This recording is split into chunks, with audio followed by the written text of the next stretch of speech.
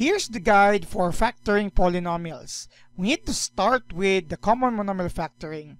Then whatever will be the result, we're going to categorize them as to whether the result is a binomial, trinomial, or multinomial. And we have specific processes under specific results.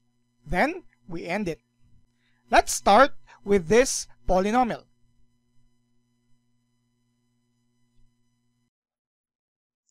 Let's factor this given trinomial, 9x squared minus 30x plus 25.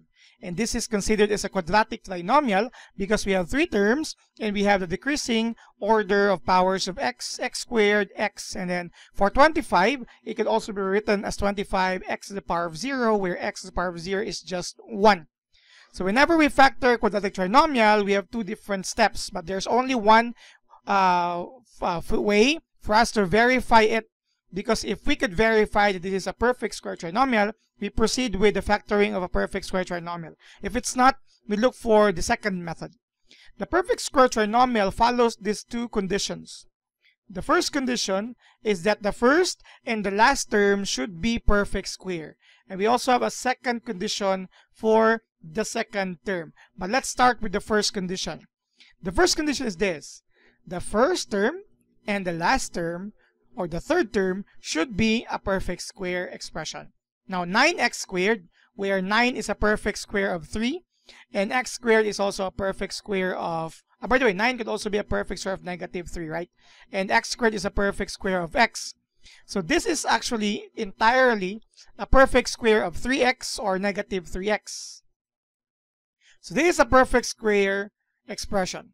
Now for 25 is a perfect square as well of 5 and negative 5. So it meets the criteria and we have satisfied the given condition. Okay. Now for the second condition, looking at the second term, the second term must meet this criteria. It should be computed as twice the square root of the first term okay, and product of the square root as well of the third term. Okay?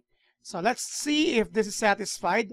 Our second term is uh, minus 30x. So question mark 2 times the square root of the first term. Again, that's 2. Pardon. 2. The square root of the first term is 3x. Don't worry about the plus minus because we have the third term later for that because the square root of the third term is 5. But whenever we consider the square root of a constant, we always place plus and minus here. Okay? But this will not be added to 2 nor 3x nor the result of both. But we are going to multiply this because these are two are just signs.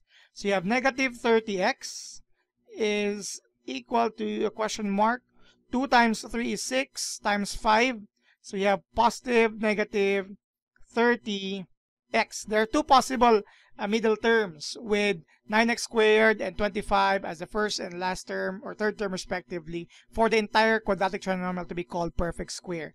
But since we already met one of which, so negative 30x as our middle term on our original given polynomial meets one of the two criterias. And this means with this and the first condition already met earlier, this given is already a perfect square trinomial. And when we factor a perfect square trinomial, it will look like this. It should be a square of a certain binomial. That certain binomial is or has a first term, square root of 9x squared, we already have it here earlier, 3x. So square root of the first term. Square root of the last term is 5.